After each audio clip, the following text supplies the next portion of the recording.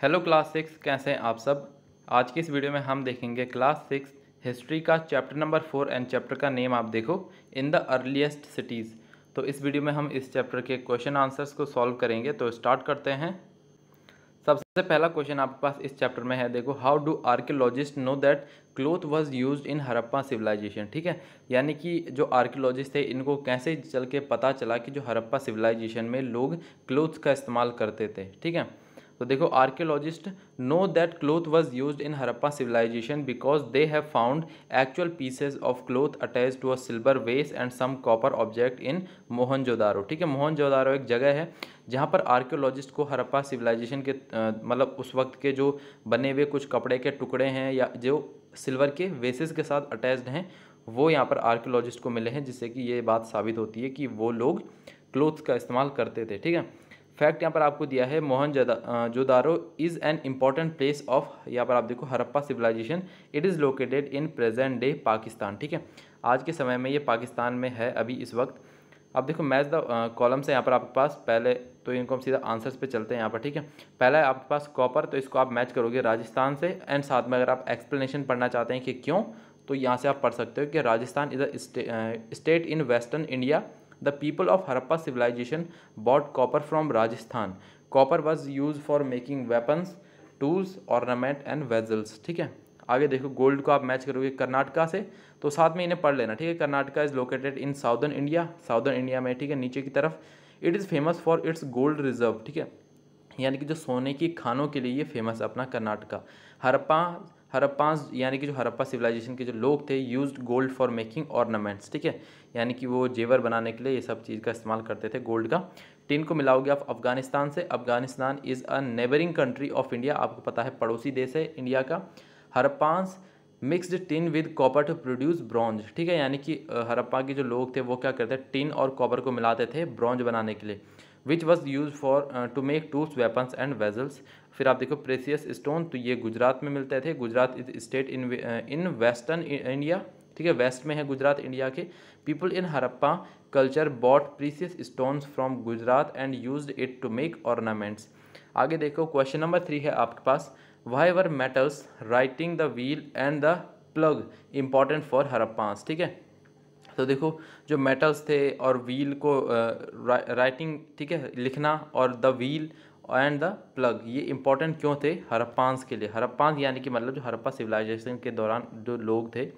The importance of metal writing wheels and plough is given below metals में आप लिखोगे the archaeologist have found metals such as copper bronze gold and silver तो ये सब मिले हैं आर्कियोलॉजिस्ट को। और फिर देखो copper was use for making tools ornaments weapons and vessels bronze as produced by mixing tin and copper जो कि अभी हमने ऊपर पढ़ा था। It was a strong metal use for making tools weapons statues and ornament third देखो gold and silver were consider precious metals and use for making ornaments and vessels जो कि आपको पता है, अभी भी गोल्ड का इस्तेमाल किया जाता है ऑर्नामेंट्स ज्वेलरी बनाने के लिए।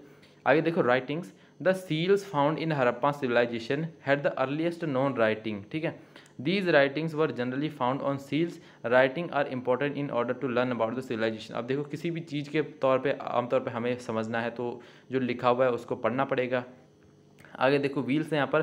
Peoples are of Harappa civilization travelled great distances to fetch raw materials and precious metals cart and wheels help them in transporting goods and materials to their location आगे देखो यहाँ पर आपके पास। प्लग तो इसमें आप लिखोगे plough is a device which which is use to turn soil in the fields for planting ठीक है?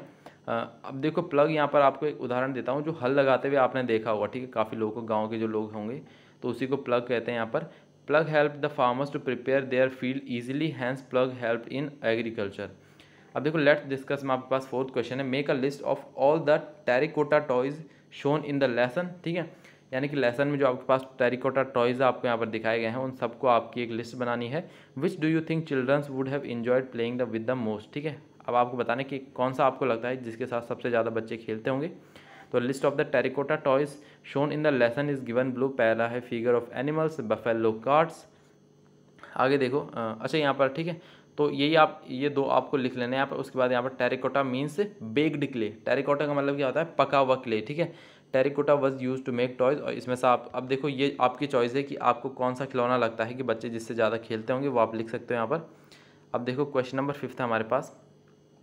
Make a list of what the Harappas ate and यहाँ पर आपको दिया है put a tick mark against the things you eat today तो एक तरह टिक मार्क लिखो या फिर यस नो आप लिख सकते हो, ठीक है? तो हरप्पा के लोग क्या खाते हैं? Wheat barley pulses peas rice sesame linseed and यहाँ पर आप देखो मस्टर्ड तो इसमें आपको यस और नो पे क्लिक करना है मतलब क्लिक नहीं करना मतलब आपको लिखना है कि जो इनको, में से आप किन किन चीज़ों को आज भी खाते हो तो वीट हम खाते हैं बार्ली भी देखो नॉर्मली हम नहीं खाते हैं, ठीक है पल्सेज हम खाते हैं पीज़ हम नहीं खाते राइस हम खाते हैं सेसम लिनसीड एंड यहाँ पर मस्टर्ड आमतौर पर हम यूज़ नहीं करते, ठीक है मस्टर्ड लोग काफ़ी यूज़ कर भी लेते हैं।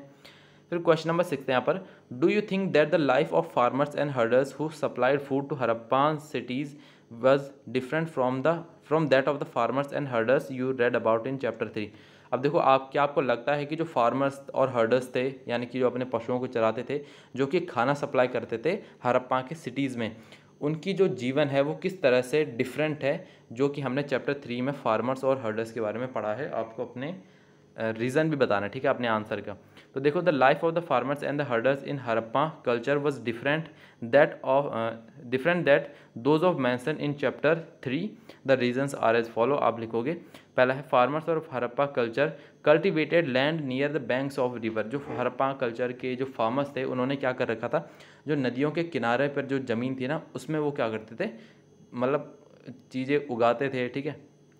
अब देखो Harappa farmers had developed better methods of cultivating food जो हरप्पा के फार्मर्स थे, उनके पास अच्छे मेथड्स थे, उन्होंने अच्छे मेथड्स डेवलप कर लिए थे अनाज उगाने के।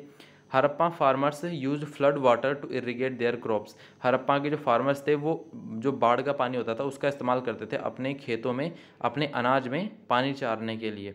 Special rooms were use to store food grains in Harappa culture Harappa culture के दौरान लोगों ने अलग तरह के स्पेशल रूम्स बनाए थे, जिनमें वो अपने अनाज को स्टोर करके रख सकते थे। तो क्लास सिक्स यहाँ पर आपके इस चैप्टर के सारे क्वेश्चन आंसर्स कंप्लीट हो जाते हैं एंड आप क्लास सिक्स अदर सब्जेक्ट के क्वेश्चन आंसर वीडियो चैनल पे देख सकते हैं। बाकी तब तक के लिए पढ़ाई करते रहें। All the best